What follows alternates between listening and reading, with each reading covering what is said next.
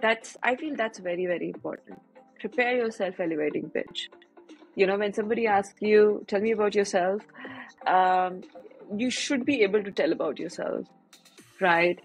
Um, you know and, and very basic questions strengths weaknesses rehearse those. So we focus a lot on this. So it's like a very squeezed you know 20 hours kind of a training in most of our programs where you get most of the information that you need for cracking an interview right? And over and above of course when it comes to mostly english communication that's a long term bet.